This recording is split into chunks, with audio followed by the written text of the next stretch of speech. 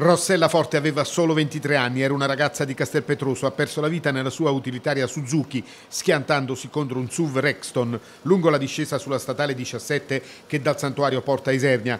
Ancora incerta la dinamica del sinistro, saranno i carabinieri a stabilirla. Intanto si sa che la ragazza ha perso la vita sul colpo, mentre l'autista del SUV se l'è cavata praticamente senza ferite, rimanendo illeso. Il drammatico incidente che ha provocato una lunga paralisi della circolazione sulla direttrice Campobasso-Isernia si è verificato intorno alle 19, quando in una curva le due auto si sono scontrate tra loro. Probabilmente l'asfalto, reso viscido dalla pioggia, è stata la maggiore concausa dello scontro frontale tra le due macchine.